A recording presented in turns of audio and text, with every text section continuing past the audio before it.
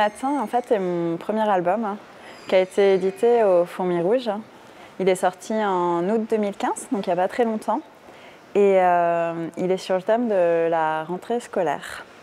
Donc on suit euh, un petit ours de son réveil jusqu'au moment où il part euh, retrouver toute sa classe. Et ça aborde des, des questionnements que peuvent avoir l'enfant, pas forcément quand il fait sa première rentrée des classes, mais tout au long de sa scolarité en fait. Et, euh, et on voit le parent ours qui rassure l'enfant. Donc le livre est un peu en deux parties. Il y a d'abord euh, tout le passage où il est dans la grotte. Donc il n'y a absolument aucun décor, on peut tout imaginer. Et euh, Petit ours aborde les différentes inquiétudes qu'il a. Et on le laisse parler jusqu'à ce qu'il tra traverse la rivière sur les épaules du grand. Et là, le grand reprend la, la parole et explique point par point en fait, ce qui va se passer, ce qui va arriver. Et, euh, et Petit ours se rend compte que ça sera très bien et il lâche très rapidement en fait, la main du grand pour se retrouver dans la classe avec euh, plein d'autres petits animaux. Quand j'ai réalisé ma première maquette, j'avais quand même une vague idée de ce que je voulais faire. Je savais que ça serait un album assez intimiste et euh, au début je voulais réaliser en fait au pochoir avec euh, des images très très épurées. Et euh, j'avais sélectionné certaines maisons d'édition qui étaient euh, assez petites, mais qui pour moi avaient un très bon travail euh, de réalisation.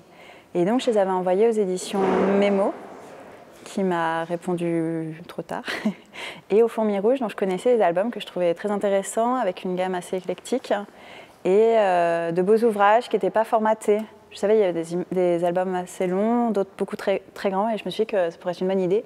Et en fait, Valérie Tussaguet m'a répondu oui tout de suite, m'a reçu immédiatement, et m'a fait jurer de présenter mon projet à personne d'autre. Alors, euh, en fait, après, ça a été très vite. On a très bien accroché. Je lui ai montré les différentes pistes que j'avais. Elle n'était pas hyper emballée, moi-même je savais pas trop où aller, puis j'ai fait un test au feutre. Elle a trouvé ça super et donc on est parti là-dessus. Là prochainement va sortir un album chez Le Seuil, en fait qui a été réalisé euh, presque avant premier matin et euh, que j'ai proposé au, Seuil parce que c'est pareil, c'est une question de rapidité de réponse je crois par les éditeurs. Et euh, ce sera un album avec un ours également. Mais c'est le hasard, hein, je ne suis pas monomaniaque. Mais euh, ce sera un ours qui va rencontrer différents personnages des décors, ce sera au crayon de couleur. Enfin, j'ai essayé quand même de différencier mes deux albums, parce qu'ils n'ont en fait absolument rien à voir. Et euh, celui-ci sortira en juin de cette année. Et après, je retravaillerai avec les fourmis rouges, hein, parce qu'on a vraiment hyper bien, c'est très très bien entendu. Et, et les projets que j'ai proposés à Valérie, eh ben, j'ai la chance de qu'ils aient tous été acceptés. Donc ouais, j'ai une petite collection qui se prépare.